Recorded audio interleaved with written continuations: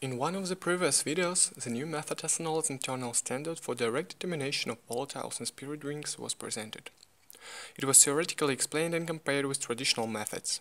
And particularly in this video, we are going to pay more attention to RRF calculations for each individual compound, and what is more, we shall look how to use these values in order to analyze the unknown sample by method ethanol as internal standard. The first step towards RRF calculations is gravimetric preparation of standard solution C. But in what way? Firstly, one prepares a binary water-ethanol solution with the volumetric content of ethanol equal to 40%. Then the solution A is prepared by the addition of all analyzed compounds into the initial ethanol solution. Further, it's solution C, which prepared by the dilution of the aforementioned solution A. The quantitative content of prepared solution is familiar to solution C according to Commission Regulation 2870-2000. Since all mentioned operations are made in gravimetric way, the concentrations of volatiles can be calculated in milligram per liter in milligram per liter of absolute alcohol dimensions. For example, the concentration of volatiles in solution C is close to 500 mg per liter of absolute alcohol or 200 mg per liter. Thereafter, the prepared solution C must be measured by gas chromatography way. And now you can see the typical chromatogram of standard solution C. It's shown in logarithmic scale in order to facilitate the perception. The greatest peak, which is marked with green, corresponds to ethanol as the major volatile in solution. Other organic compounds' peaks are much smaller. One of them is marked with red in order to be an example of RRF calculations. Response factor, RF, is the expression which is widely spread in gas chromatography analysis. It shows the intensity of chromatograph response dependence on quantity of compound entered in the column. And here you can see the formulas which show the calculations of RF values for ethanol and J compound. Thus, the A value corresponds to relevant peak areas.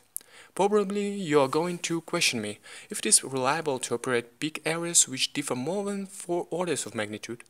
The answer is that modern gas chromatographs are accurate enough to operate with peak areas which differ more than 7 orders of magnitude.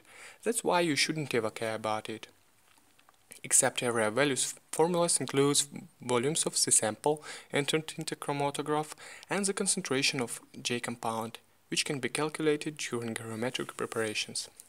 As to ethanol, it was earlier explained that it is possible to replace ethanol concentration by density. Also, an eta value should be added. Eta shows the volumetric content of ethanol in solution C, and in our case it's equal to 0.4. The RRF values in turn are the relations of RF values of ethanol and J compound. During the counting process, the eta value will convert J concentration dimension from milligram per liter to milligram per liter of absolute alcohol. And further you can see the example where RF value is close to 0.7.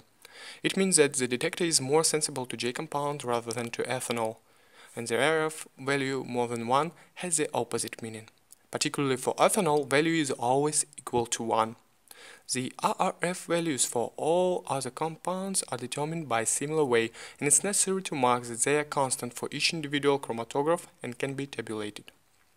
And finally, we are welcome to analyze the unknown sample. In the case of using ethanol as internal standard, there is no need to add an extra internal standard from the outside, because ethanol always exists in spirit drinks. And that's why sample is simply placed into standard microvial for GC analysis and measured. As far as you can see from the formula, for J compound concentration determinations, one need just to calculate the reliable chromatogram, enter the peak areas and use the RF values which were determined earlier. In that case, we obtain the data in milligram per liter of absolute alcohol, in full compliance with international regulatory documents. The online calculator AlkaDrinks was created in order to help people use the new method. It makes all the calculations.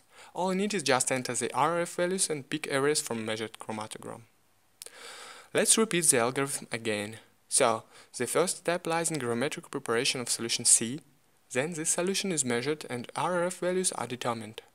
And after previous steps, the composition of a known solution is determined.